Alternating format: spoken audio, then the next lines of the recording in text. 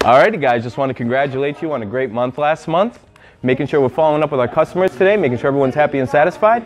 If either of you guys have any appointments set today, please follow up with them, make sure everything's set in stone. And uh, outside of that, let's sell some cars. Hey, what what are you doing? Get get get back to work.